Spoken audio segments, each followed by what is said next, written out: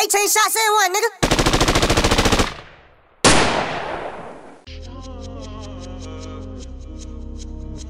Bello G. Dollar. Y'all already know, real talk. Street quality shit.